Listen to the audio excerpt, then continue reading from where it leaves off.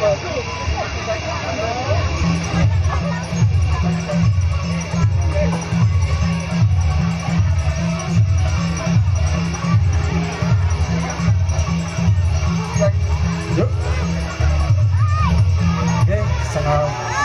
bang semoga misalnya iya. ya,